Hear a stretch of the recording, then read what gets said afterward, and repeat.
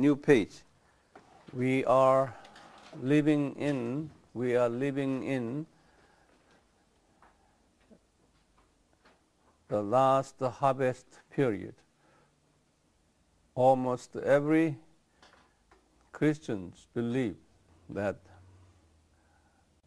this era is the near the end time of human history. And also Christians believe the second coming of Jesus will be very soon. We do not know when this would happen, but as we go through all the biblical teachings on the signs of the second coming of Jesus, we cannot deny his imminent coming.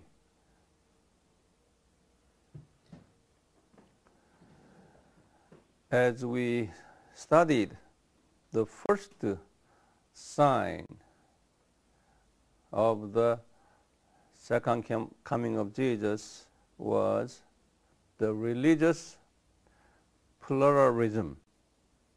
There are three biblical references here, biblical background.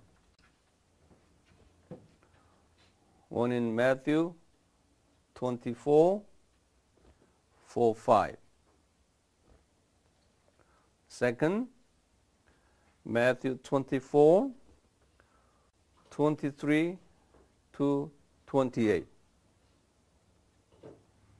And third, Revelation chapter 6, verses 1 and 2. The man on the white horse. Do you remember all this? Good. Now change your paragraph. This prophetic references here.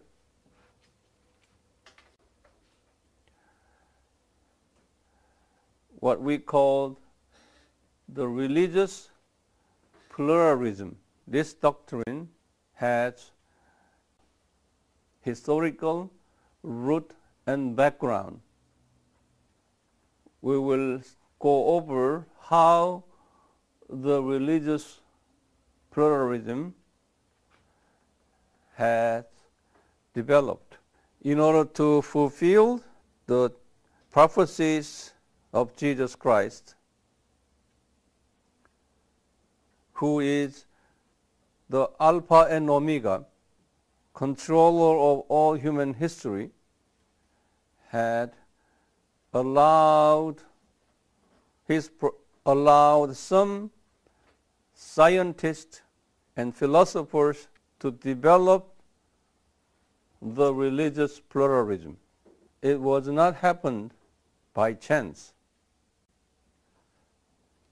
It was not happened by chance, but it's been well planned by God to fulfill his prophecy. Why did Jesus prophesy this? It is because Satan will attack main value of the gospel, main value of the gospel, which is main and core value, I would say core of the gospel, which is, is the doctrine of Trinity and doctrine of salvation and Christology. Satan will attack the core Christian doctrine, denying Christology and attacking the biblical Christology and even diluting. Diluting means what? Dilu- dilution. Dilution means,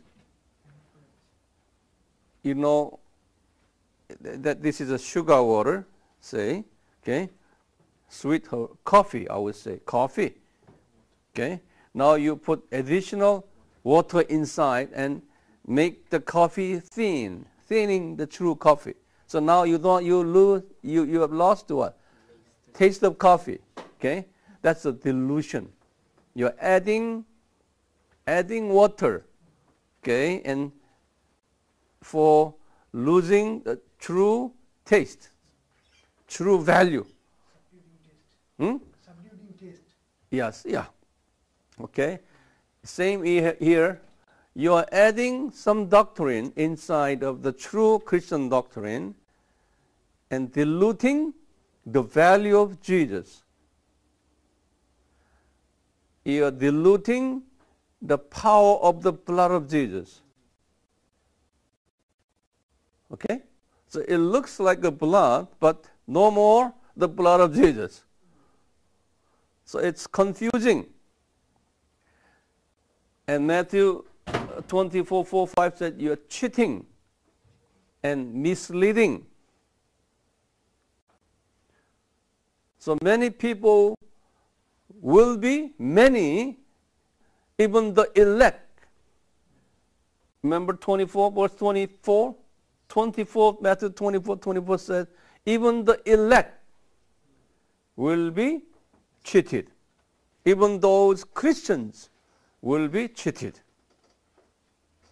Many will spiritually die. In verse Matthew 24, 28 said, call, you know, call, dead body. Okay? They will be a dead body. And vultures will gather to eat the meat. The vultures, what? It's a Satan. Vultures. Satan will gather and devils will gather, eat the dead body. That was Jesus' prophecy, which will be the first sign of the second coming of Jesus. And now, change the paragraph. These people already were prepared 500 years ago during the 16th century. At that time, of course, Reformation was there, 1517. There's a Reformation time. Now, there are two distinctive reformers. That Reformation was a religious Reformation, but over here, social and science and philosophical reformers during those days. There is a father of modern science was born here, Francis Bacon. Francis Bacon. He's a British man.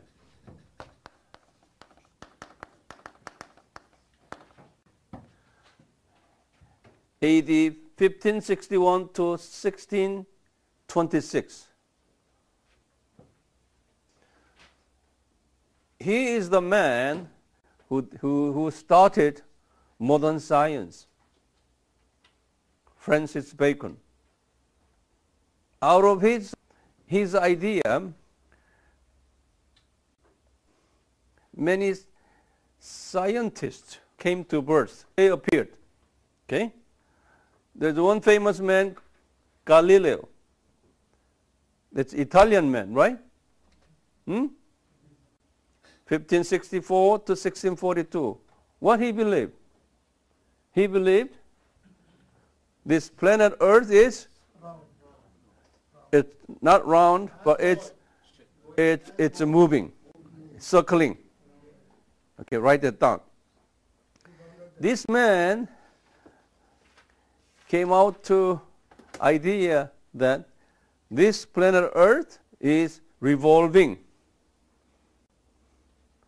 That teaching was against the Vatican teaching, Roman Catholic teaching. This man was a Roman Catholic, Italian man. But Vatican was very upset about his new discovery. And Pope killed him. And there is another British man, Isaac Newton. Isaac Newton here 1642 to 1727. Isaac Newton was man, you know, theory of gravity. You know gravity? All these new scientific discoveries came out during those days. And also, these people developed navigation technology. Navigation technology brought them to travel not from Europe because they built ocean liner, okay, and sailed to other continents.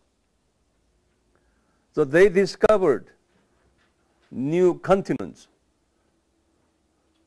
First of all, they discovered African continent. So they sailed to Africa.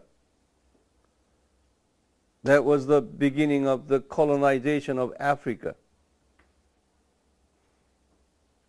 And they, they took natural resources from the continent, including human power. And also they traveled to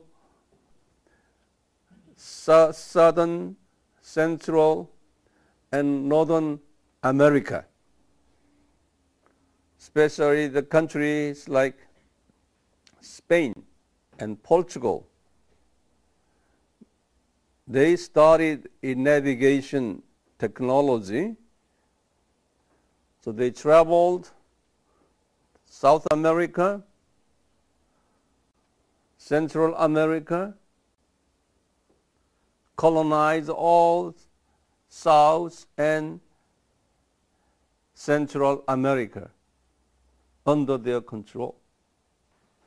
So today, from Mexico all the way down to Argentina, they speak Spanish.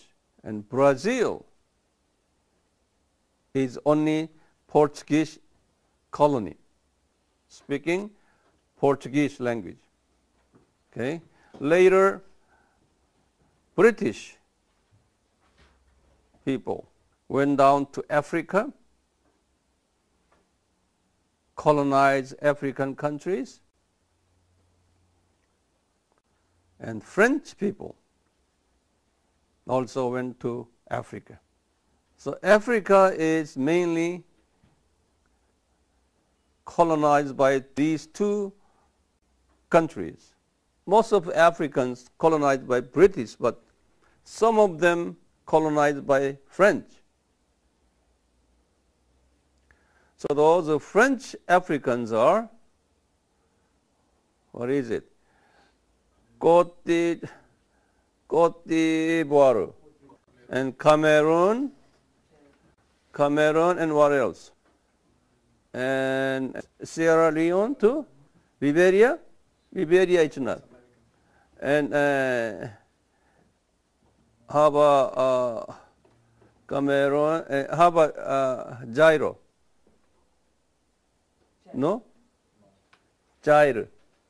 Is no? Has Angola? Yeah, Angola is a French. Algeria. Algeria. Yeah, Algeria. Uh, Algeria. And then remaining of them, most of them British. Okay? Okay, now this science had developed by this Francis Bacon had got spread it all over like this. Okay? At the same time, in the ideology part, ideology, right here, philosophers. The father of the modern philosophy is uh, Rene, not Rene, Rene, it's a French word. Okay? Rene Descartes. Okay, Rene Descartes. About the same time, he's a Frenchman, 1596 to 1650. This man is the father of modern philosophy. They were all Roman Catholics, Christians. same age over Francis Bacon, all those guys. And his, his philosophical approach was learned by John Locke. He's very famous, all these guys. Locke is a, is a British man, 1632 to 1704. Now, John Locke, who learned this uh, modern philosophy from uh, Rene Descartes, he became the father of modern age of reason. You know reasoning? Reasoning. Okay? In reasoning, I put down here, later, reasoning means it's a rationing. It's a ration. You know meaning ration? Because you are not an English speaking people. A rationing. Your brain, I would say, okay, is a reasoning brain. Okay? Yeah. Yeah. Your reasoning brain. It's a reason. Can you come up with better expression here? Uh, reason, because though most of us are not English speaking, reasoning, it's uh, reasoning. Eh? Thinking capacity, I would say. That's the uh, reasoning, not emotional. It's a brain, it's thinking. So knowledge, knowledge and understanding, that part. It's a reasoning. So now uh, John Locke was the modern father of age of reasoning. Because of this, see here, this is 1704 means beginning of 18th century. 1700 means this. 1700 to 1800, this is called 18th century. Got it? Now here, 19th century means what? Eight, 18 to 1900. This is the 19th century. So in 19th century, right after this, uh, John Locke and philosophers' main theme was skepticism. Skepticism. Skepticism means what? Skepticism. Skepticism means you are suspicious. Okay? When you look at a matter, okay, you look at something and matter, you say, you don't take it as it is. Always suspicious. Why? Like that. Okay? Why? Yeah? I don't believe it. Why? This is skepticism. You know, suspicious. Yeah, questioning. It's a questioning. I don't believe it. Why? You know, and suspicious. This kind of idea was the philosophy. They said this idea entered in philosophy in the beginning, but this idea had entered every disciplines. Disciplines means, you know, when you are in university, you have a philosophy, literature department, literary department, and engineering department, and business department, all each department, see? all these subjects called disciplines. This subject, academic subject called disciplines. So this skepticism, skepticism, okay, skepticism. This skepticism entered in physics, in geology, even biology, even business, every subject once you have this kind of kind of a stimulus, why? Why? Then you you look for more and more. So that science got developed because of this skepticism. Because of this, we call that the enlightenment here. Enlightenment. Even scientific method developed, produces enlightenment. The enlightenment. You are lightened. Okay? In opposing term, you, you have been in darkness. But now you are now enlightened. Okay? So this science helped the society more brighter. So they call this 16th century, 17th century, 18th century, 200 years time, we call it the Enlightenment period. Okay? And through this Enlightenment period, more this Enlightenment contributed in science and philosophy part. So these philosophers, out of the Enlightenment, it went further forward called period of skepticism. Enlightenment and then it went further to skepticism. After you got enlightened, that was not it. Enlightenment and skepticism. Now, I don't believe. Okay? We have to search whether, whether that is true or not. That's a skepticism. Got it? These major skeptistic philosophers here in 19th century. This idea came out of British here from John Locke. But John Locke's idea okay, went to German starting 19th century. The German people got enlightened.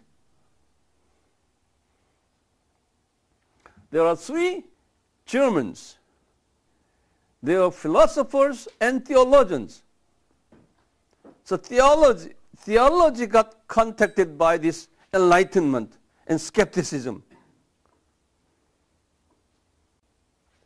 So these philosophical idea went to theology. Okay? And these theologians started with Immanuel Kant here in 1772 to 1804. Immanuel Kant, he said, I am a Christian. I believe God. I believe God's existence. But how can understand God through our reasonings? Since we cannot touch God, we cannot see God, we cannot believe what the Bible said, especially those miracles. Skepticism is raising questions, questions about the Bible. Okay? His disciple is not George, Georg. Georg Hegel. Hegel. The German, German word is Hegel. AD 1770 to 1831. And Hegel's disciple is Friedrich Schleiermacher. It's, it's, it's a German, German word. Okay, E-I is I-E. So, Schreier, Schleiermacher. Mark Kerr, Marker. In English is Kerr, but uh, Marker, Marker. Schleiermacher, Frederick Schleiermacher. Immanuel Kant's philosophical grandchild. grandchild. Now, the Schleiermacher, all these three guys, especially the F. Schleiermacher, his idea for 200 years from him.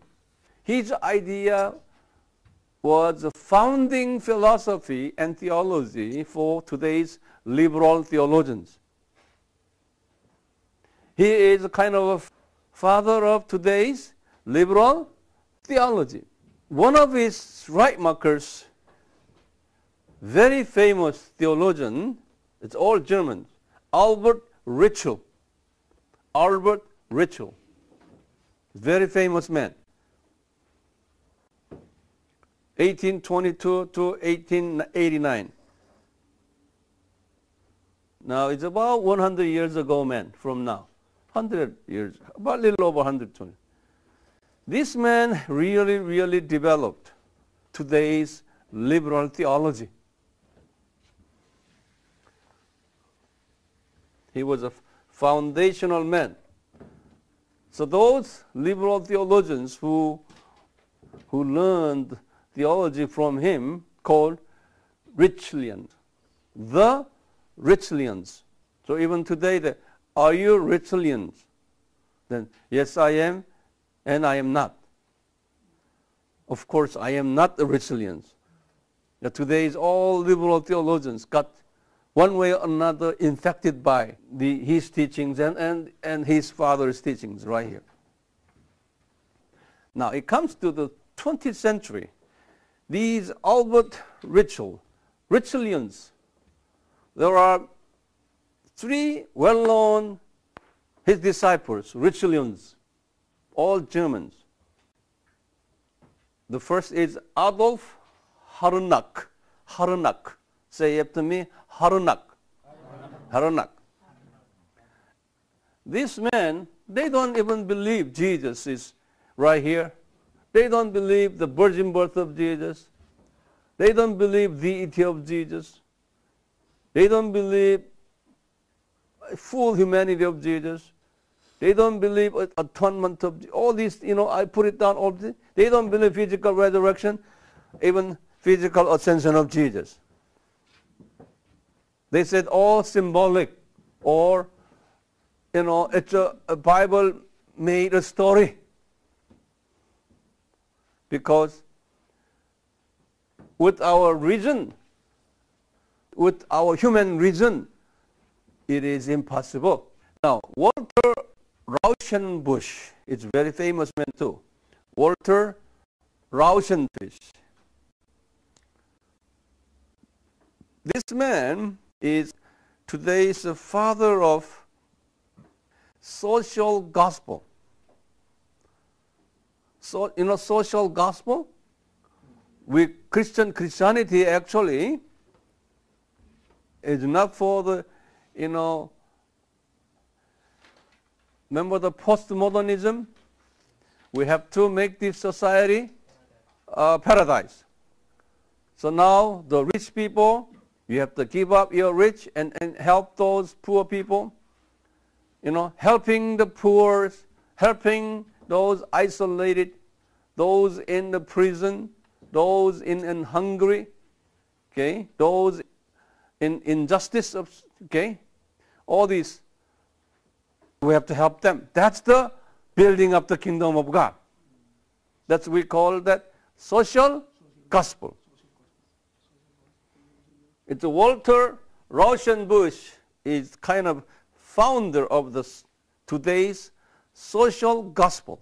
Then out of these two, now new man came, Paul Tillich, Tillich, okay, Paul Tillich. He developed new called neo means new. Neo, new liberalism. Actually, these people, especially Tillich, okay, believed in religious pluralism.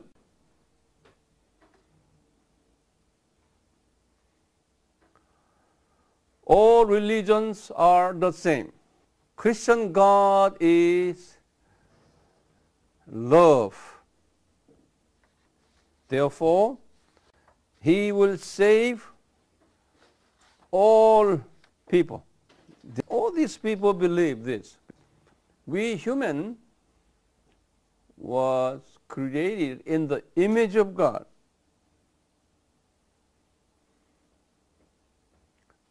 Genesis 1:27 in the image of God. Therefore, we have ability. Human has ability of thinking and reasoning as much as God.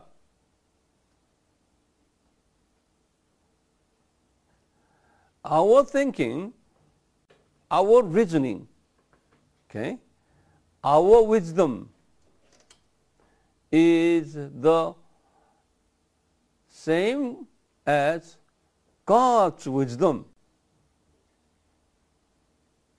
because we are the image of God. Whatever we cannot understand in our wisdom and in our reasoning, that is not true. So they put top priority. They put the reasons, the top priority above everything. So we have to develop our reasoning, which is the will of God. And these people believe our God is a real God and He gave us reasoning and His wisdom. Therefore, our God does not need to stay in this world with us. God does not need to stay with us in this world. Because His power and His wisdoms are in us. No need Him, no need our God be with us here on a daily basis. So they call this Christian God is absentee God.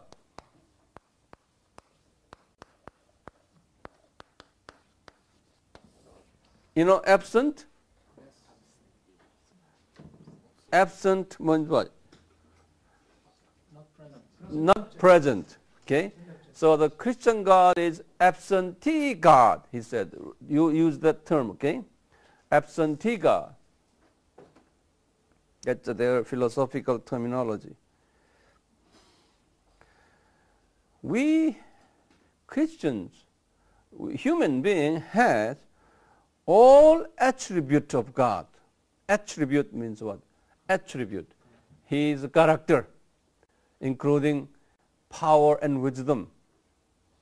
So it is a human responsibility to develop human wisdom. So God above in heaven will not interfere us. He loves us, but He will not interfere our daily activities.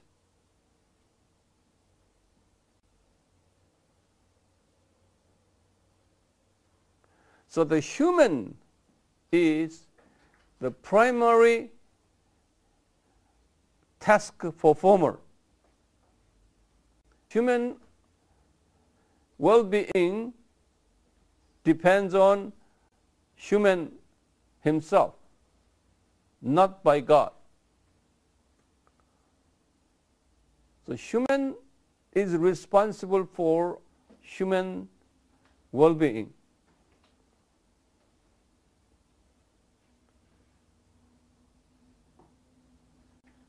This is what we call humanism. Humanism.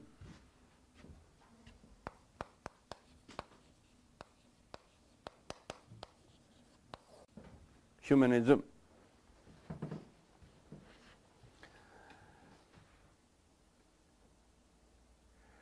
Prior to their theology, we had been totally dependent on God.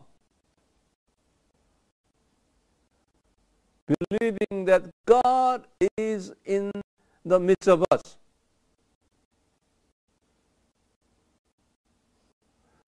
And God is in control of all human life.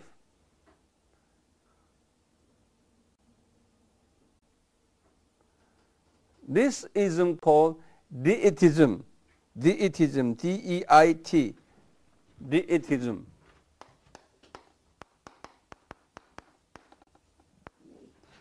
It's God-centered ism, deitism. Okay? Now, because of these guys here, these liberals, deitism now was slowly moving to what ism? Humanism. Okay? Yeah. Now here, I'm not talking about those uh, non-Christians, okay? I'm talking about Christians here. Christian theology got changed from deism to deistic humanism, not denying God. Deistic means allowing God but human-centered. That's a deistic humanism. It's God-centered deitism here, but human-centered kind of uh, deism. It's a God-centered to human-centered. Now, the Descartes here, this man, this man Descartes, he has a very famous statement. Descartes' statement this is, I think, write that down, therefore I am. That's what he said. I think, therefore I am. In Latin it says, cogito ergo sum. This means I think, therefore I am. See, it, it now he emphasizing on reasoning, thinking. The man has a thinking capacity. Okay? Therefore, out of his teachings, modern science, mathematics got developed.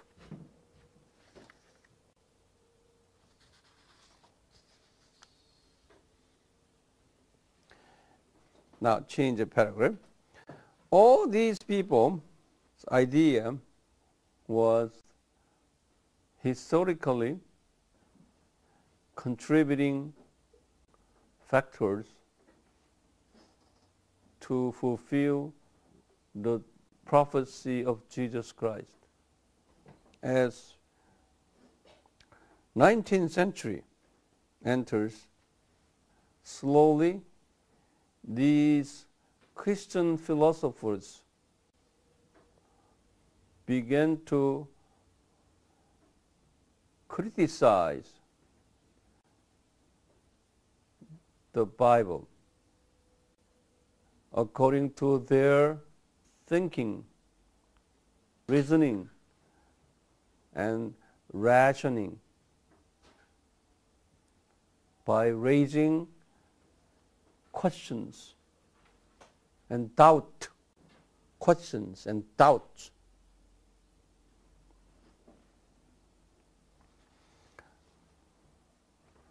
Even today, the liberal theologians are uh, practicing this. So those 19th century to even 20th century, the Bible criticizing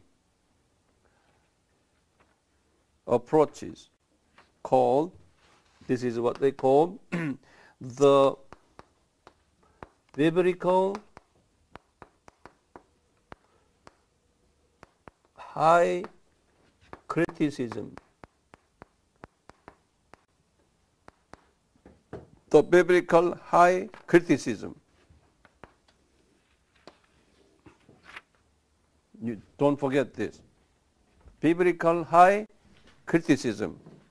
Criticizing the Bible based on their own reasonings.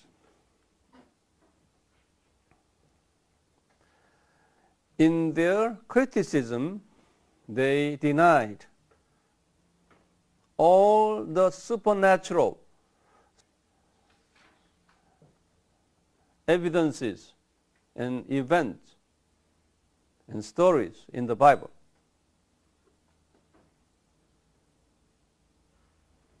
I wrote it down here, such as virgin birth of Jesus,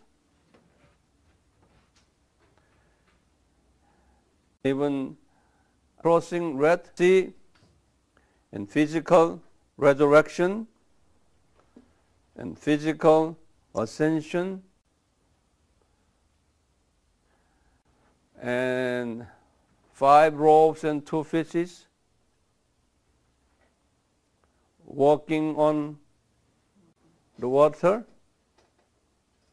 and raising the dead and so on. All these Bible supernatural events were denied by them. They said, Bible expressed this to demonstrate the greatness of God. In those days, it was a cultural expression of those days and in those countries.